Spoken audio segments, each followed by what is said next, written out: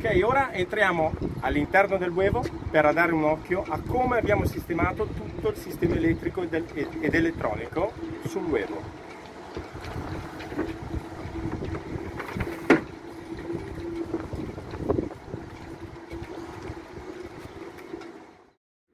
Eccoci qua all'interno del Wevo per fare un focus su un impianto elettrico ed elettronico. Allora, innanzitutto quello che arriva dalla testa dell'albero, quindi quel eh, cavettino avionico che arriva dal sensore di testa d'albero e l'altro cavettino avionico delle luci di via escono qua in alto all'albero e vengono, ci sono due spinotti di connessione rapida, sempre IP67 e diversi tra di loro in modo tale che non si possa sbagliare, vengono rinviati a poppa via passando nell'angolo sopra il quadro elettrico e vanno nel tunnel per le connessioni.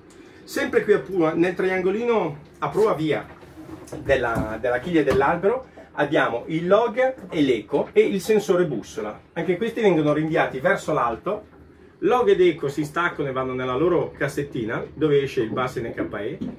Insieme alla bussola anch'essi vengono rinviati a poppa per andare a fare le connessioni. Sempre qui nel quadrato, ok, abbiamo le antenne del GPS e l'antenna dell'HF GPS del, dell'NKE in questo caso, il VHF, il barometro, lo splitter che serve per poter utilizzare l'antenna in testa d'albero sia per il VHF che l'AIS. L'AIS in questo caso il cliente ha scelto un Matsutec che, fa, che funge sia da AIS che GPS, quindi diciamo ottimizzato lo spazio prendendo un solo strumento.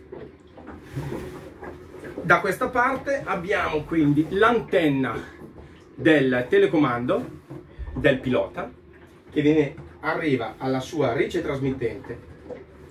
Qui sotto nel tunnel abbiamo tutto ciò che è la parte di connessioni elettriche quadro elettrico. Quindi qui abbiamo lo stacca batterie, il quadro elettrico, il monitor delle batterie e andando sempre qui sotto in fondo abbiamo il, il giro pilot, quindi il cervellone del pilota una fila di scatolette, una sola, dove abbiamo il filtro bus, l'alimentatore di CDC, due scatolette di connessione per NKE e il box wifi, le due batterie e in fondo si intravede il pilota automatico. In questo caso abbiamo aggiunto due prese USB, quindi una classica a cilindro e una invece con due presettine USB classiche.